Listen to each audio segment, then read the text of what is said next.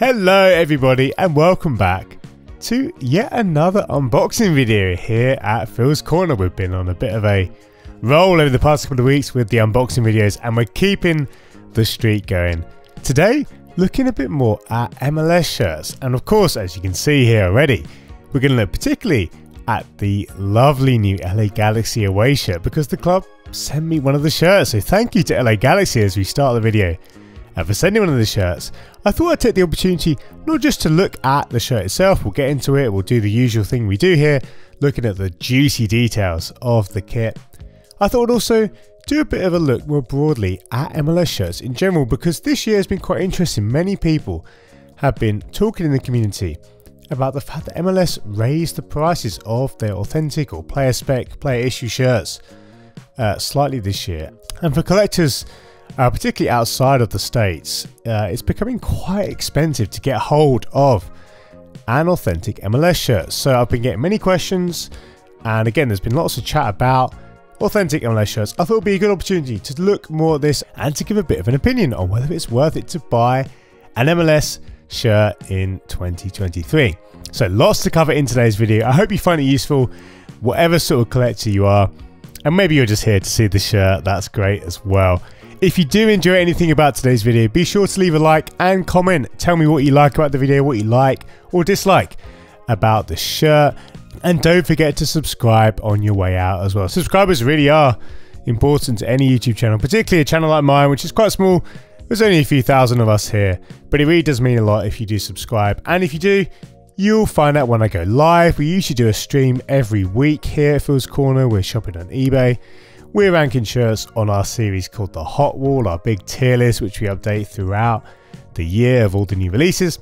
And there's topical videos like this one today and unboxing videos and all that sort of good stuff. So be sure, uh, again, to leave a like, a comment, and subscribe if you're new here. But this is the new LA Galaxy shirt. And guys, I'm very excited. I wasn't sure what to expect. The club did uh, DM me and said they'd like to send a shirt, so I knew something was coming. I didn't know it would come in this really nice box though. And uh, many of you already know what the shirt looks like, but we're going to get into it. And I think I'm right in saying this is going to be the authentic version, the player spec version. So, quick word on the box. Very nice, heavily branded. You can see on the side there um, nods to uh, what is going to be a feature on the design of the shirt itself. Um, and yeah, the colorway as well, you're already seeing hinted at on the box. It's just cardboard, nothing too crazy, but I will now get into the contents and there we go. I don't know if you can see that very well on the uh, on the camera. Uh, look at that. The shirt is there, and it is indeed the authentic version. So let's take this out.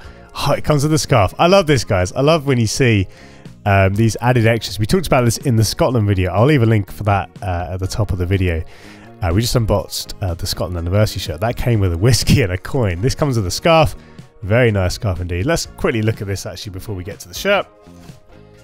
As you'd expect, really, we've got the scarf uh, in the colours of the kit, and it is a really nice scarf indeed. Love the colours, and it feels quite soft as well. This is great, and it's funny, I don't really wear scarves a lot, even though I live in Yorkshire in the north of England. Uh, I probably could make use of them. But um, yeah, looks like it's made by uh, the brand Ruffneck for all that's worth. I've never heard of them. Um, very nice, very nice scarf indeed. And that's a nice little bonus. Did not expect to receive that. But we're not here to talk about scarves. We're here to talk about shirts. And here we go. This is the new LA Galaxy away shirt. Wow. I must say, guys, the colors of this one are absolutely stunning. It reminds me a lot um, of a Fluminense shirt, which I uh, had in my collection uh, a couple of years ago. Uh, that was from Umbro. But this is, of course, a nod to some of the early LA Galaxy kits. I can't remember whether it was the first year or the second year, um, but they did have uh, a shirt with some of these colours, and I must say, this looks absolutely beautiful in person. There's so many nice pops of colour, uh, of course, with this lovely kind of green base, uh, almost kind of green teal base, but that looks great. Uh, but what really lifts this one is the uh, the gold and the red secondary color. And there's already things which I'm noticing which I didn't actually know uh, were on the shirt. And I'll just show you some of the details. Uh, wow, this is lovely. Now, let's talk about this more uh, in detail. Let's start with the crest. Uh, love seeing uh, a bit of texture on these crests, and of course, now plastic crests are quite common, but I think what really separates a good one from a bad one is when you've got a bit of texture. I will say it's quite thin. There's some pros and cons to that. Pros, uh, typically a thinner plastic crest like this is a bit more comfortable to wear. Sometimes a, a chunky stiffer badge can be uncomfortable. So in that sense, it's quite nice. It doesn't feel as kind of solid as it could, but then again, there is some texture there and it does look and feel good. The detail, of course, is excellent. And similarly on the Adidas logo, Adidas again have made this a bit thinner than previous iterations of their player spec shirts. So again, really good from a comfort perspective. The sponsor is just a simple transfer, so that's not quite as quality. And actually on the of quality, I will say that the MLS League patch has taken a bit of a step back. Now full disclosure, I've not actually uh, got hold of an authentic MLS shirt for the last couple of years. So this could have actually been something that's happened for a couple of seasons, but certainly from my perspective, Previous MLS uh, league patches have been uh, a thicker plastic, a bit more like the crest here. This is more similar to just a transfer. Now, from a durability perspective, that would have me slightly worried. Um, and it's the same with the Apple TV uh, logo, which I believe all teams have this year. That's a new feature, a new sleeve patch that's league-wide. Uh, but what's really good to see actually, guys, is that the cuff design, which is a real standout, and it matches the collar, of course, that goes all the way around. This is something which actually a few years ago, brands a few years ago would often leave a section of the sleeve cuffs unmatched. Um, and I don't know why that was, whether it was a pattern matching thing, I don't know. But that's good to see, uh, of course. On both cuffs, it goes all the way around. That looks great. Really, really like those cuffs. I mean, that alone is such a great detail. Uh, but what I love as well, if we turn the shirt over, you can see more nice touches. Now, even though it is a plain back, this back backnet detail is absolutely wonderful. I love seeing again, we talked about with the crest, raised details, a bit of texture here. It adds so much compared to a simple transfer. Uh, and it looks great. I love the look of that. It really feels good. And the Adidas construction, the uh, the latest Adidas uh, construction which we have, looks really good. I love the paneling here. Getting the opportunity to see that red tertiary color, that dark red, uh, on that panel looks great, especially in combination with the gold uh, hem. That looks really good. You see just sections of the shirt like this, which add so much. And even though the back again is plain, really good to see the use of the colors there. Now what's quite interesting, and we will talk about this more towards the end of the video when I talk about whether it's worth it to buy one of these shirts. You might notice, the eagle-eyed amongst you might notice that this is actually uh, Adidas's replica level material. And if we just flip the shirt back on the front, by that I mean that the shirt is actually aero ready. It's quite hard to see, but that you can see there says aero ready. Essentially, this means that the, the material, the base material, is the same as you get on your typical replica Adidas shirts. Now, this is really important to note for a couple of reasons. Again, we'll talk more about this uh, towards the latter part of the video. But essentially, this means that there is a combination of features which you would typically see on replica shirts combined with features that you'll see on player issue shirts. Now, as much as we could say, uh, largely speaking, I would say that this isn't necessarily a good thing. If you're a collector and you're paying a lot of money for a player spec shirt, uh, you want to get all the bells and whistles of Adidas or, or any brand, of course, uh, that you're buying from. We'll talk more about that towards the end of the video, but that is just one thing to note, and you may notice a couple of things as we go through. Just more on the shirt before we get to that. Really like the Jock detail, although it is just a transfer. So again, it's kind of a mixed bag here in terms of details. Some, like the crest, like the backnet detail, a little bit more quality. There's also a few details like this, which are just a transfer. It's really nice. Though. I believe that's the flag of LA, I think. Uh, but what's really cool is, of course, it helps tell the story of the kit. And I think this is one thing to note about details like this. When a detail, like a Jock detail, which is a detail in the kind of bottom uh, corner of a shirt, uh, is on a kit, it really helps if that detail helps tell the narrative. And of course, uh, even if you weren't to know about what uh, this cuff pattern represented, if you then saw it with the flag, you immediately see, oh, there we go, it's the flag. It's a representation of the flag. But what's really cool is I like that they've just basically, as far as I can tell, just stuck the flag in its normal colours. And again, you see the narrative here. Not only is the shape of the flag uh, represented, but the colour scheme is a bit different. It's a bit darker. Um, and I think it's a bit of a stronger colour scheme in and of itself, but just having that jock detail tells a story. So top, top stuff, even though the quality of the detail isn't amazing, really nice choice. And I've not even got on to the sleeve taping. This is a feature, of course, in uh, the latest Adidas player issue shirts, player spec shirts. Such a simple thing, guys, but if I just turn it inside out, uh, you can see here a return to uh, sleeve taping as we would have seen it uh, back in the day, back in the 90s, or indeed many previous decades. Um, does it actually matter? Well, I think it does. It certainly adds a lot of quality to the shirt because you can see here, and it may be hard to see on the camera. I don't know if I'll get the angles right here, uh, but the taping essentially it just means that the uh, the quality and the durability of uh, these three stripes is so much stronger. It looks so much better. You get a nice kind of underlay here, which of course is the color uh, seen on the panel there uh, but it's raised in a really nice way. And this is a big step up on uh, what we saw for a number of years, which was just kind of plastic transfer, three stripes. Of course, for replica Adidas shirts, you have for a number of years got uh, stitched on stripes, which are quite good again from a durability perspective.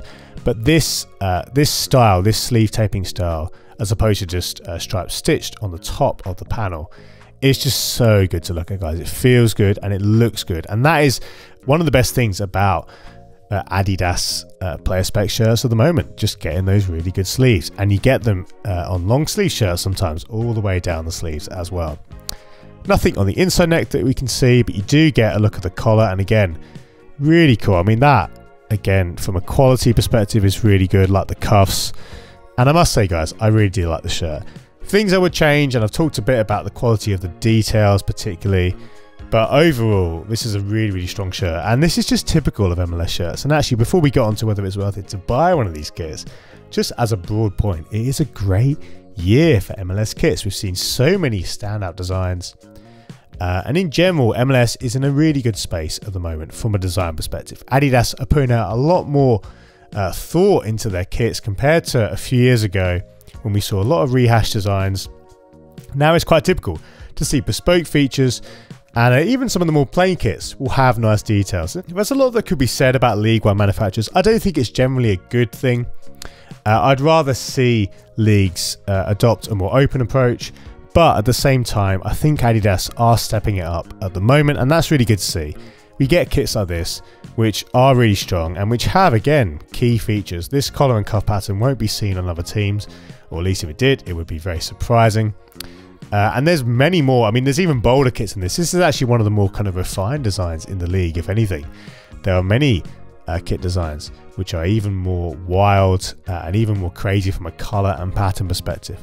But that is the LA Galaxy 2023 away shirt. Very excited to see this in person. It is absolutely gorgeous. The colors are so strong. And um, shout out to the club again for sending this over. But as we move to the second half of our video now, I want to ask the question is it worth it to buy a player spec MLS shirt or an authentic MLS shirt? This is quite a complex subject. This is not just a case of cost against what you get, because actually, one of the key things to say about MLS kits in particular is that the drop off from player issue or player spec to replica is steeper than other leagues. This is something which has been happening for quite a while now, and season collectors will know exactly what I'm talking about. But if you're relatively new to the scene or just simply not following it as closely as people like myself, who spend far too much time looking at shirts, let me just explain for you. Uh, typically, a player issue shirt will be essentially the same as a replica shirt in terms of uh, key details or design features, but with slightly better materials, slightly higher application quality, a slightly slimmer fit, uh, maybe differences in the three stripes, that sort of thing. But with MLS shirts, the drop off is much more stark, and you will actually find that replica MLS shirts will be missing key features of a kit, even things like the stars above a crest. Now, in any other league around the world, uh, you would expect to have something like the stars, which usually signify championship wins and that sort of thing, uh, above the crest at any tier of shirt, replica or player issue. There are exceptions for things like basic shirts, but we won't get into that for today's video. But yeah, you know, if you buy a shirt and the team has a star above their crest, uh, or maybe the country uh, has a star above their crest, you'd expect to see that at replica and player issue level. But in MLS shirts, replica MLS shirts will often be missing those stars. Things which you would simply expect to see aren't there. And it goes further. You will find things like collar designs, which again could be so integral to the aesthetic of a kit, missing on replica shirts. Things like jock tags will be missing. And some examples are more egregious than others. Some examples are more shocking than others. Often replica shirts look like cheap knockoffs in comparison. Now I'm looking as we speak uh, at the MLS store, the official MLS store, um, and you can see here on the replica, and I'll share some better pictures so you can see properly. This is $90 as standards. This is a men's uh, size LA Galaxy uh, away shirt. And I mean, I didn't even mention the cuffs are completely missing off the replica design. Plus, uh, the stars and the jock tags, so key details which are missing. And I assume the backnet detail is missing too. Um, it probably is. And it's $90. That is not cheap. And the thing is, if the price of these replica shirts was a bit lower, say it was closer to kind of $60 uh, or something like that, I think there's an argument to be made that actually that would be somewhat of a uh, effective uh, option in the market. You know, you're paying a bit less, but you're still getting the base of the shirt. But here, paying $90 for a shirt which is missing so many of the details uh, of the shirt that the players are wearing is a big shame. There is a reason for this. This isn't just random. Essentially, the American market works a bit differently to other markets like Europe, for example, where uh, it's quite common in different sports uh, for there to be uh, authentic level or player spec level uh, kits and jerseys in other sports. But the differences are more stark in those. MLS have adopted an approach uh, where they do have distinct differences in order to help justify and affect the player spec tier. And we can't really fully explore this without speaking, of course, to MLS themselves or Adidas themselves in America. But yeah, basically, details are deliberately left off to help justify that different tier. And this whole kind of mindset, this whole kind of attitude is ultimately not good for collectors because even the replica kits are still expensive, of course, here in the UK, for example. You would still see, for example, things like uh, the cuffs on the replica kit uh, of a UK team. Although, of course, that could change, and there have been examples where things have been missing. But yeah, it's much more widespread in MLS, and there's lots to be said about that, and that is a real shame. Because again, from a collecting perspective, it really is a bit of a knock to have a replica kit. That's not to put any shade on people who collect replica kits, and I indeed, in my collection, have a lot of replica kits. It would not be cost effective. I don't have an endless bit of money to buy uh, player issue shirts all the time. But it sucks that there is such a big difference. Um, and of course, as we hinted on as well, you're also not getting all the best uh, level of materials from Adidas here uh, with MLS kits compared to kits in other leagues. We talked about aero ready. Now, for the average fan, they're not going to care. And actually, some people would actually prefer the fit sometimes or the comfort levels of replica kits, which is perfectly reasonable. But if you're a collector or you're someone who really appreciates details in a kit, at the end of the day, you get so much more uh, bang for your buck with heat ready, Adidas heat ready materials. And there's some examples, I'll show some pictures of shirts in my own collection. I don't have many heat ready shirts because, again, they are more expensive, but I love the extra level of quality, the extra level of detail in particularly the base of the shirt. Don't get me wrong, replica Adidas shirts I'm in a good place right now. The look and feel of Aero Ready is pretty decent and it's been iterated on over several years to the point now where it is in a very good place. But again, you just get so much more with heat ready shirts, and you do not have uh, heat ready material here. You have aero ready, and that is a notable point. I think, particularly on shirts like this, which are quite plain on the base, it would benefit so much to have heat ready. It would look so much higher quality. Um, and it's just a real shame that we get essentially replica level materials uh, for a shirt that is priced as a player spec shirt. And I failed to mention the price actually uh, earlier on, but it is $160 for an authentic or player spec MLS shirt. Now that's without shipping. Uh, that's of course without any printing. If you want to get a name and number, you're looking at $195. Now these prices seem huge, and they are huge. It isn't actually a massive uh, increase on uh, previous years. I believe it was only five or ten dollars up from last year. I might be wrong on that, but at the end of the day, the prices have gone up, but the quality hasn't really matched it. or hasn't justified uh, that increase. And uh, it's fair to say that at that sort of price, $160, you should be getting the very best from Adidas. Of course, even with the heat ready material, that's a lot of money. But I think it's fair to say that there is a bit of a tension here. MLS kits are looking great at the moment. They are looking really good. I mean, honestly, guys, I'm very privileged to have been sent this shirt. Uh, and as part of my job, I do get sent stuff from time to time. And I'm very thankful to be in this privileged position. But I know if I wasn't sent this shirt, there would actually be a big dilemma here because I love the look of this from a pure design perspective. This is one of the better shirts I have seen in the last couple of years. But I would be very torn on paying certainly full price for these kits. And I think that really kind of brings me to my conclusion here. Um, of course, if you're someone who has a lot of expendable income, you can spend as much as you like on kits go mad, get some MLS kits because they are beautiful. But if, like the majority of people, you're on a bit of a budget, let's face it, that's kind of 99% of us, isn't it? We can't just spend what we want every month. I would encourage you to actually kind of play the long game a bit when it comes to MLS kits. Many of these kits will be available in sales periods, so the end of the MLS season, Black Friday, things like that. And there have even been many examples of some of these kits, some of these MLS player spec kits making their way to discount retailers uh, even high street stores uh, in the UK. So it's very possible to get kits like this uh, on sale for much, much cheaper. We're talking 20, 30 pounds. I'm sure many of you will know that places like TK Maxx here in the UK have had some great deals on MLS kits. I myself have got some MLS authentic kits from TK Maxx and other discount retailers as well uh, are available, of course. Um, so that's one thing to know. And really, I hope this video has helped show you that actually MLS authentic shirts, whilst they are undoubtedly uh, very nice to look at. They are kind of in a bit of a weird tier where they're not quite at the same level and quality of player spec shirts, player spec Adidas shirts from other leagues. They kind of exist in this weird tier, which is somewhere between replica and authentic in terms of material quality, detail quality. Of course, if you know someone in the US or you know someone who's able to kind of get you a bit of a deal on these kits, that can really help. And there are people in the community who do things like bulk orders, which help reduce things like the cost of shipping and indeed, it's not uncommon to see some MLS kits available uh, shipped from the UK, which again really helps with cost. So guys, I hope that isn't too much of a, a down note to end the video. Um, but I did want to make this video to talk a bit more about the state of play in 2023. Um, and it is a really difficult thing, guys. The shirts, MLS shirts have rarely looked this good from a design perspective, but there are real questions around the cost and the discrepancy between replica and player issue. And ultimately, I hope this video has been useful to you in some way, whatever type of collector you are.